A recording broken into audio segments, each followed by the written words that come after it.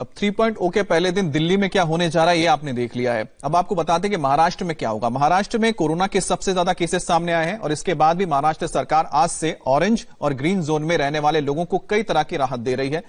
राहत red zone में पड़ने वाले जिलों को भी है, लेकिन कुछ शर्तों के साथ लोग अपनी ज़िंदगी यहाँ पर रिस्टार्ट कर सकते हैं।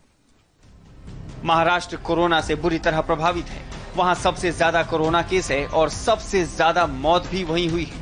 उद्धव ठाकरे सरकार ने लॉकडाउन थ्री को लेकर लिस्ट जारी की है, जिसमें बताया गया है कि आज से क्या खुलेगा और क्या बंद रहेगा। हवाई सेवा, मेट्रो और ट्रेन बंद रहेंगी। सभी जोन में होटल और मॉल बंद होंगे। बसों पर भी रोक लगी रहेगी।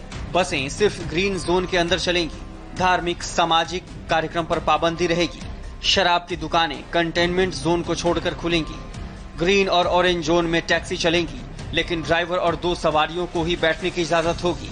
इसके अलावा प्राइवेट कार और दो पहिया वाहन भी चल सकेंगे। कंटेनमेंट जोन को छोड़कर सभी जोन में सिंगल दुकानें खुलेंगी। ग्रीन और ऑरेंज जोन में फैक्ट्री और दफ्तर शुरू होंगे।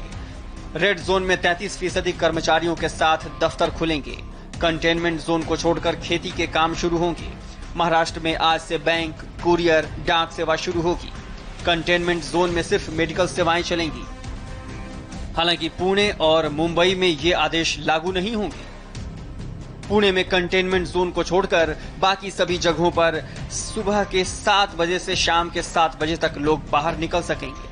पुणे के सभी उनहत्तर कंटेनमेंट जोन में सिर्फ़ ज़रूरी सामान रखने वाली दुकानें सुबह 10 से दिन में दो बजे तक ही खुली रहेंगी। मेडिकल सुविधा और अस्पताल के अलावा पुणे में सब कुछ बंद होगा। जो इलाका कंटेनमेंट जोन में नहीं है वहाँ सुबह 10 से शाम 6 बजे तक दुकानें खुली रहेंगी। इसके अलावा एक लेन में गैर ज़रूरी सामान वाली सिर्फ़ पाँच दुकानें ही खुली रह सकती हैं। पुणे से मिलती जुलती व्यवस्था मुंबई में की गई है। 17 मई तक फ़िलहाल यही व्यवस्था चलेगी और इसके बाद स्थिति को रिव्यू किया जाएगा।